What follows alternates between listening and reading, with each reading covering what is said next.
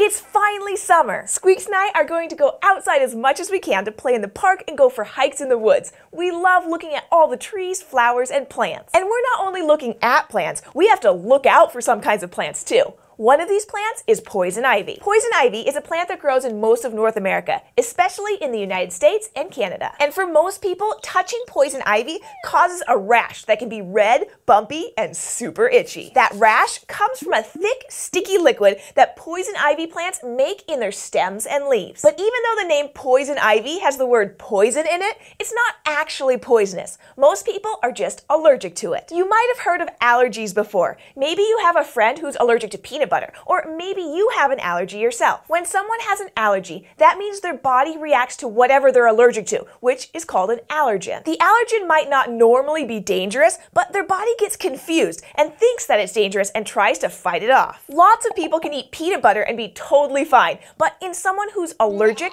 their body thinks peanut butter is dangerous, and that's why they have an allergic reaction. The same thing happens with poison ivy. The liquid in poison ivy stems and leaves has a special oily chemical chemical in it that most people are allergic to. So if you touch poison ivy, your body thinks there's something dangerous on your skin and tries to destroy it. Your skin gets all red and you might also end up with bumps or blisters, which are lumps filled with liquid. And these lumps itch. But if you do get a rash from poison ivy, try not to scratch it. Scratching can make the itching worse, and if your fingernails break the skin, germs can get into your body. Instead, you can use cool water or special lotions to keep the rash from itching while it heals. It usually takes one to three weeks to go away. Of course, the best way to avoid an itchy poison ivy rash is to avoid the poison ivy plant. So whether you're out in the woods or even just chasing a ball that rolled into the weeds, it's a good idea to keep an eye out for plants that look like poison ivy. Poison ivy looks like this for most of the year. Its leaves grow in groups.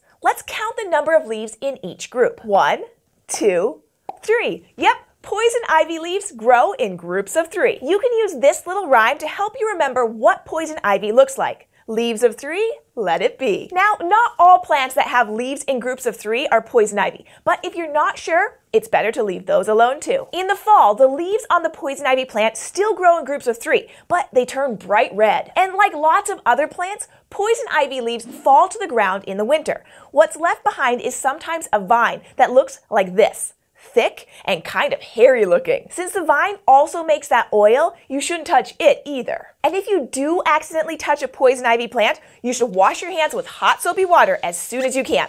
And since the oil can get on anything else that touches the plant, like clothes, you should make sure to wash them too. Oh, and even though animals don't get the rash, they can carry poison ivy oil on their fur. So it's a good idea to keep your pets away from poison ivy too. But there's no reason to let poison ivy stop you from getting outside this summer. Just keep your eyes open for those leaves of three and let them be. Thanks for joining us on SciShow Kids. What's that, Squeaks?